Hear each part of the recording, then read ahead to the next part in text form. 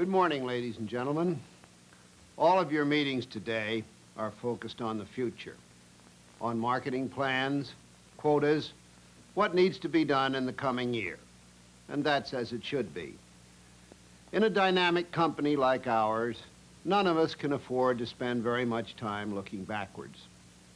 But the decade we leave has been a very unusual one for IBM.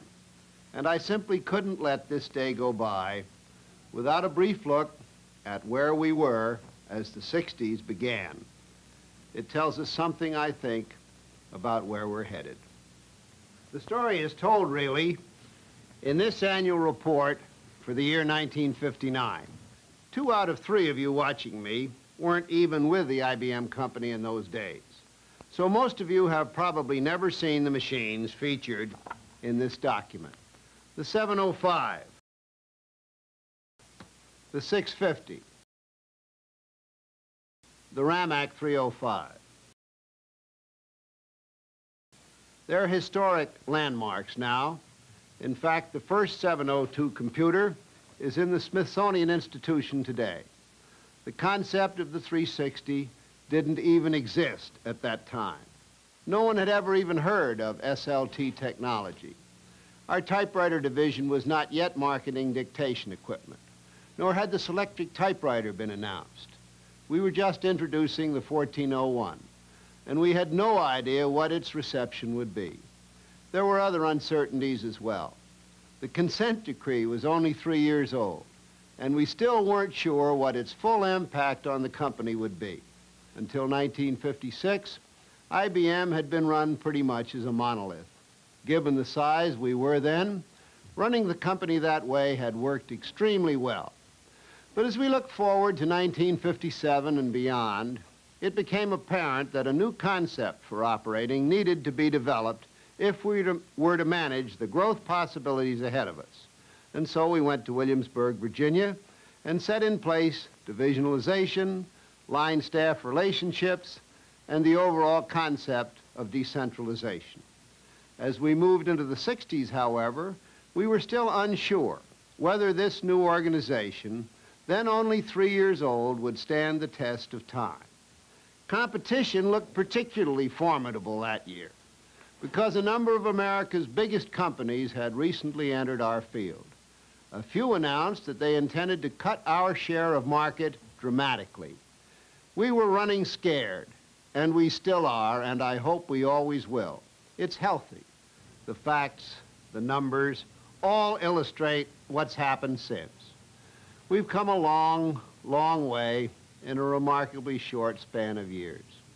I venture to say that no company in history has come as far, as fast, drawn such attention, and made such an impact on so many segments of society all around the world and most of those impacts have been good. I'm particularly aware of this sweep of events, these achievements this morning. It's been an exciting decade for me, and I hope for all of you who have been a part of it. I come out of it with an immense sense of gratitude to every IBM man and woman who helped make it happen.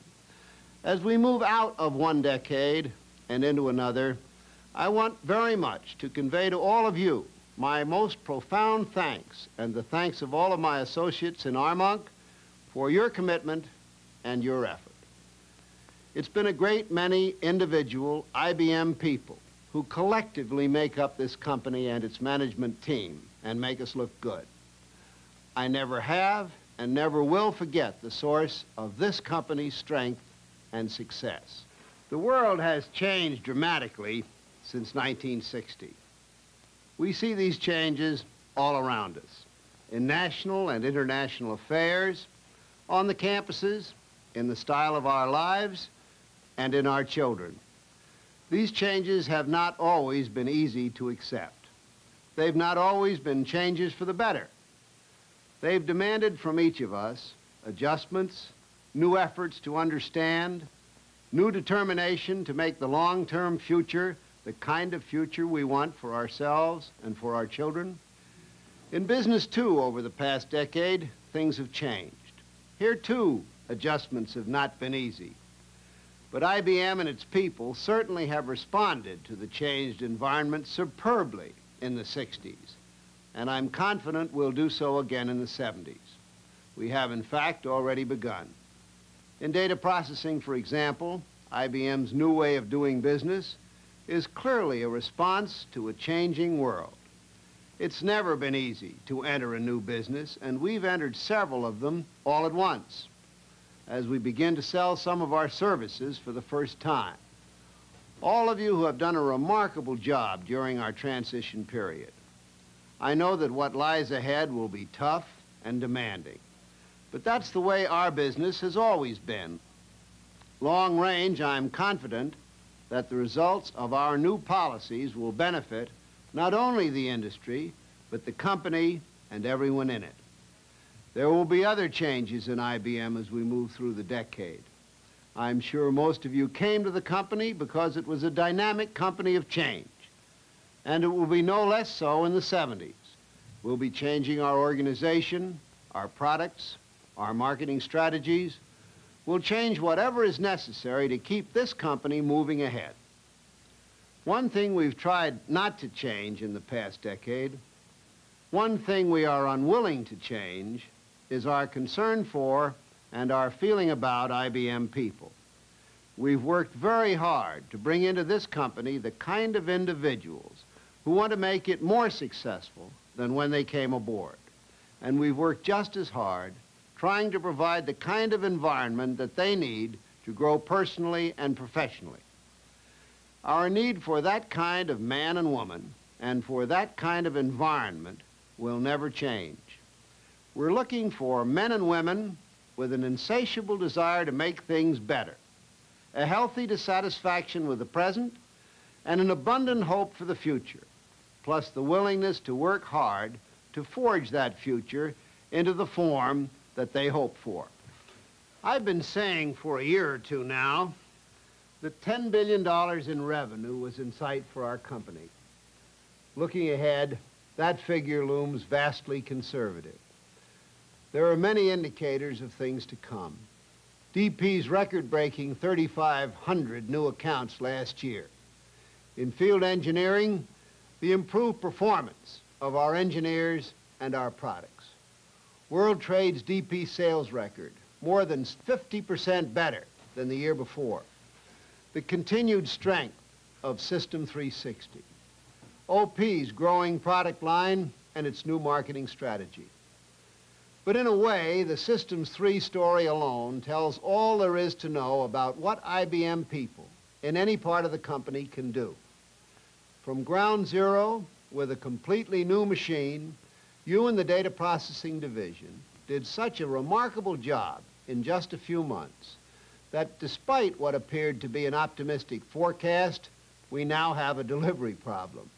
You can be sure that will be whittled down. A lot of people are working on it.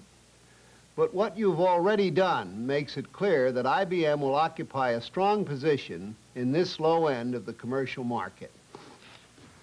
These are only a few of my reasons for my confidence in the future. In my estimation, there's nothing to hold us back. Not the legal suits. We'll come out of those all right. Nor the competition, even though it will certainly get stronger. Nothing can hold us back if the people in the IBM company will perform with the same skill and dedication as you have in the 60s. If we believe in each other and in our goals, in our relevance and in our ability to improve our society, then I know this company will move as excitingly in the years ahead as it did in the 60s. We are, I believe, only at the beginning.